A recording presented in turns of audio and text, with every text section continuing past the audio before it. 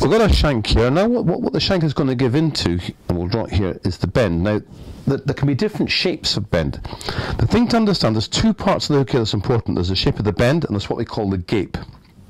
If I draw a standard round bend here, just to show you, the gape is the gap between the shank and the upturned point of the hook there. So this, this, this here is the gape. From here to here, all of this is the gape. Now what's important to get right with the gape is the gape has to match the bait you're using. So if you're going to use quite a, quite a big chunky bait, like say a maggot or two maggots, you want to have a reasonably wide gape so as the maggot sits completely in the gape. The trouble with using a narrow gape, and I'll draw one here, the maggot, is your maggot is actually going to extend slightly beyond the gape of the hook. This is bad for a couple of reasons. One, when a fish sucks the bait in, you want to make sure that the hook point, as it gets sucked in, is, clean. That, that you know the fish can be hooked cleanly. If the maggot's masking the hook point when it sucks in, there's a chance that the fish can spit out again and you haven't hooked it. The other problem with not having a bait like a maggot securely in a wide gape is that here there's a potential for the maggot to curl up and cover the point of the hook because it isn't sitting completely rested in this. And double maggots even worse. You can imagine two maggots or a worm or a big bait needs this wider gape. And again, most modern hooks tend to have a fairly wide gape. It's only the delicate um, winter hooks for say a bloodworm that's got this narrower gape. With a bloodworm, you can see why the narrow gape is going to work. If I talk about the reverse situation, so if I drop my narrow gape again, and I've got a bloodworm coming off here, which is quite a thin bit, or a single pinky. There's my bloodworm. Obviously, the narrow gape is kind of is kind of the right dimensions for the bloodworm. If I put a very small bloodworm here, I'd have far too much hook showing above it. And when a fish sucks it in, it's going to feel the resistance of the wire before it feels the bait. So you need to kind of balance up the gape to the size of bait you're using. But for anything bigger than a pinky or a bloodworm, you're looking at, these days, a fairly wide gape as being the best choice. The other point about here is the shape of the bend. There are various shapes and into all sorts of dimensions, but basically you've got the round bend, which would just be, as the name suggests, round, and you've got the more sort of stepped type hooks, which might come down like this, depending on the pattern. I'll show you two hooks that show the difference here. Here's a, a Milo hook that's got the more stepped form. I don't know if you can pick that out, but you might see the form of the hook. It's got a slightly more stepped form. And here's the back again to a classic round bend, which is very, just perfectly circular. The bend bait.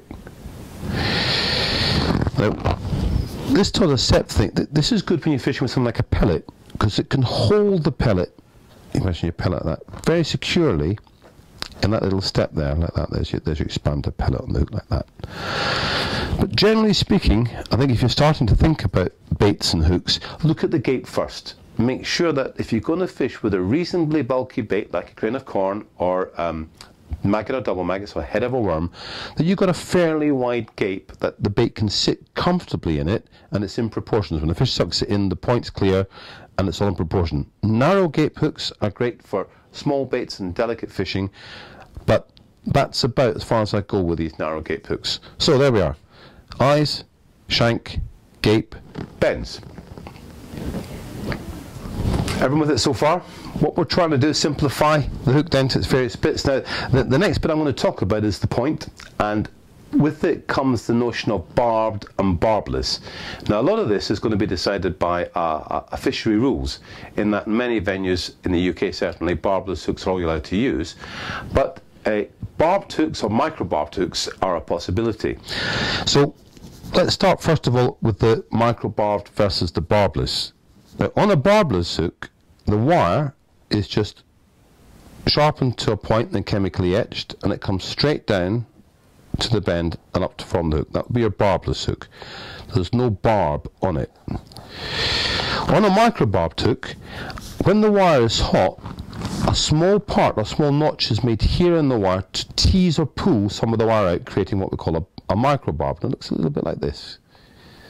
So it would create a step here in the hook. So I'll draw the hook around like that. So your barbless hook is a straightforward needle. The hook sharpened to needle point and the wire continues straight. And on the the microbarb hook, part of the wire as it's hot and molten is teased out to create a step. Now, the microbarb helps if you're trying to fish um, a bait like uh, like maggots or worms because it holds the bait on the hook. The, the bait can't slide up the hook, and what many people believe is when you hook a fish, the microbarb stops the hook falling out of the fish. Now, there's been lots of work done on this, lots of arguments about this, and essentially, I suppose, provided you're using the right elastic and provided you're keeping pressure on the fish, there's no reason to ever lose a fish with a barbless hook. There's also some evidence that barbless hooks cause less damage to the bait. So if you're fishing with a delicate bait like bloodworm, a barbless hook will, will, will cause it less damage. But if you're fishing, uh, if you're fishing for roach, say on a big lake on the feeder a long way out, there is some security in using a microbarb hook because it gives you when you strike strike the hook, it gives you a little bit of, of security that the fish is still on. However, today in modern fishing, I think the barbless hook has become, if you wish, the standard. And certainly for big fish, for anything away from, from small fish fishing, barbless hooks are, are every bit as good. And provided you play fish carefully and don't let the pole or line go slack, there's no reason at all for losing them with a barbless hook compared to a microbarb. In terms of points, there are different points and hooks. Some points and hooks can be slightly curved in like that, so you get the point slightly curved in. And again, the idea is that you hook a fish, the point's curved in, it, it'll hold the fish more securely. But generally, what's more important is the sharpness. Uh, uh, there's a lot of hooks you buy that'll blunt up to two or three fish. Now, that's what you don't want. From a hook, what's important, more than anything else in the point, is the way the point's finished and that the point stays sharp after baiting and so on. You can always test this. With a barbless hook, you can always try and just, just get, get, get a bit of your trousers or some cotton make sure you can push the in and out that goes in cleanly. With microbarb hooks, test it even against your finger. Just check that the point still feels sharp. And the minute it feels blunt, change the hook. Um, hooks used to be notorious for going blunt, but something called a chemical etching or, or, or chemically processing happened where when the hook's being made na nowadays, you can put, when hook's being made, there tends to be a lot of rough edges or burring on the wire as it gets bent round and sharpened to this point. What chemical etching does is it, it, it uses chemicals to clean the point to a very smooth finish. And this makes the point much sharper. So we've got the hook building up now to its point, which of course is very important. I've got one last bit to cover in our little anatomy of hooks. Well, I've finished with my artwork, and I'm going to talk about one last aspect of select, hook selection, and it's this. It's the, the gauge of wire, or the thickness of the wire, and by association, the weight of the hook. Now, this is a bit of common sense involved in this. If you're going to target big carp, uh, on the pole, let's say, or on anything, there is no point in fishing with a very fine wire hook because that fine wire will be uh, easily bent by big fish and will, the hook will simply straighten your loose fish. So to some extent, you start by thinking of the fish you're trying to target and you start thinking about the gauge of the wire. So what you've got to think about is, is the hook strong enough to get safely to the bank the fish you're hoping to catch? The next thing you've got to think about is the weight of the hook. And this is where the compromise comes in because, of course, if we fished everywhere with great big heavy hooks, we get every fish we caught in, but we might not get any bites. Because the weight of the hook affects the way the fish pick the hook up. So the lighter the wire you can use, the, the easier it'll be for a fish when it's sucking a bit in to, to take the hook. It'll feel less resistance, less inertia. Now remember, fish are swimming along, uh, maybe off the bottom, they're coming down, they're picking up bits of food, and they're, they're blowing in and rejecting anything that feels a bit odd. So if you're picking up maggots, and then suddenly you take up, pick up a maggot that feels unusually heavy because it's got a great big hook in it, a heavy hook in it, the fish will reject it and that bait will be left untaken. So the balancing act is picking a hook that's light enough to get your bites and thick enough in the wire to get the fish in. Now, sometimes it's easy. If you're going to fish for big carp, you're going to be using a reasonably big bait, so you're going to want something like that with a fair bit of, of wire in the hook. It's a strong hook. Okay.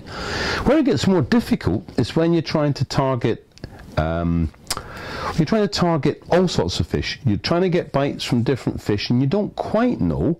Uh, you don't quite know what's going to you're going to catch next, and you're going to want a hook that's got some strength in the wire. And here's a good example. It's a Drennan silverfish match. It's a relatively fine wire hook, but it's a strong hook. Relatively. So if you do catch a big fish with this hook, you've got a good chance of getting it in. And I say to you, it's all about trying to think the compromise through. Now, here's a hook that, that you'd be very lucky to get any carp in. It's a Drennan fine match. And this has got a very fine wire, it's a very delicate hook, it's a very light hook, but for presentation, that's better than the other hooks I've shown you. So it's all about trying to think through its logic, if you wish. Am I going for carp? If I'm going for carp, leave all the fine wire, the light wire hooks alone, go to a shop, pick a good strong wire, possibly forged hook, something with plenty of strength in it. If you're trying to catch a variety of hooks, try to pick a wire and a weight of hook that's, that's a balance, that's in between, not too fine, gives you a chance of getting the hooks out, the fish out, but strong enough, strong enough to get most fish on the bank, but light enough for fish to pick it up easily. And if you know it's going to be hard, if you're looking for small fish, etc., go for a very fine wire, a very light hook, because the inertia as the fish sucks the bait in will be less. Okay? Now, that's my anatomy of hook little tour finished. Now I'd like to go back to the tackle shop and we'll try and talk through how you can actually put this into practice when you're faced with that wall of hooks and that, that choice of hooks. What do you look for? What are you picking? Given the bait you're going to use, the fish you're going to target, the time of year possibly, you know, the colour of the water. The water's very clear. Maybe you want to go slightly lighter on the wire, slightly smaller on the hook size. Uh, and make a decision based on these factors. Now you've got your hook built up here. One thing to think about is the way hook sizing works and hook sizes.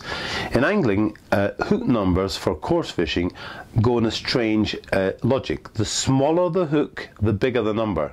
So a size 22 hook is considerably smaller than a size 6.